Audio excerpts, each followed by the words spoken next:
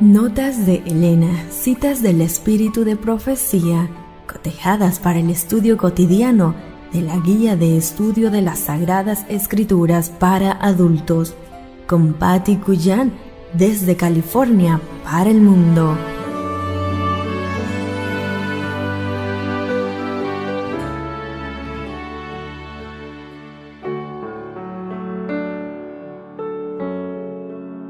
Hola, muy buenos días, qué gusto me da saludarte, saber que estamos juntos de nuevo.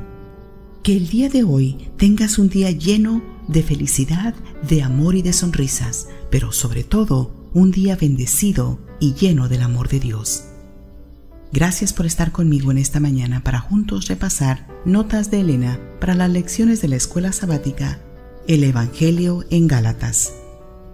Domingo 2 de julio, titulado Pablo el escritor de cartas. Pablo plantó en Galicia las verdades puras del Evangelio, predicó la doctrina de la justicia por la fe y su obra recibió la recompensa de ver a la iglesia de Galacia convertirse al Evangelio. Pero pronto Satanás comenzó su obra utilizando a falsos maestros para confundir las mentes de algunos de los creyentes.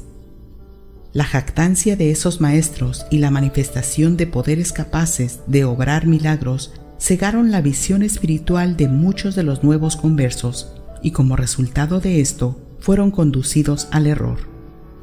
Por un tiempo, Pablo permitió la influencia sobre las mentes de los que habían sido engañados. Pero él, confiando en la palabra y el poder de Dios y rehusando aceptar las interpretaciones de los maestros apóstatas, pudo inducir a los conversos a ver que habían sido engañados y en esa forma frustró los propósitos de Satanás. Los nuevos conversos volvieron a la fe, preparados para ocupar inteligentemente su posición en favor de la verdad.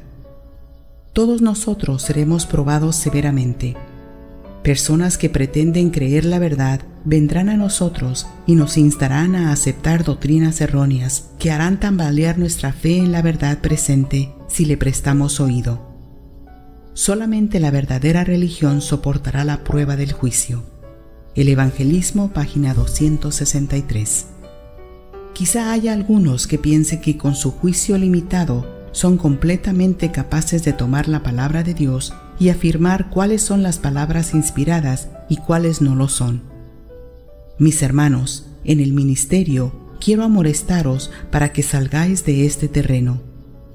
No hay ningún hombre finito que viva ahora, no me importa quién es o qué puesto ocupe, al que Dios haya autorizado a entresacar y escoger en su palabra.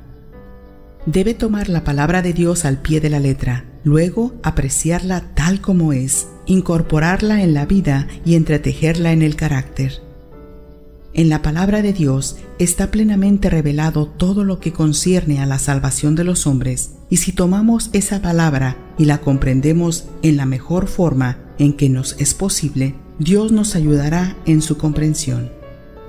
Nunca tratéis de escudriñar las escrituras a menos que estéis listos a escuchar, a menos que estéis dispuestos a aprender, a menos que queráis escuchar la palabra de Dios como si la voz divina os estuviera hablando directamente desde los oráculos vivientes.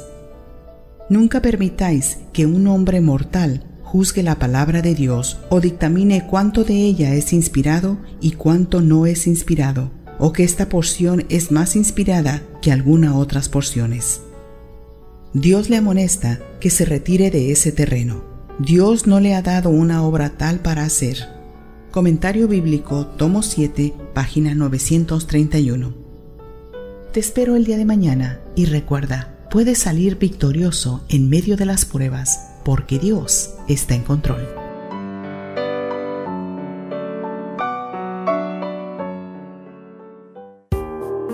Esta fue una presentación de Canaan Seven Day Adventist Church y DR Ministries. Escríbenos a d-ramos28 hotmail.com.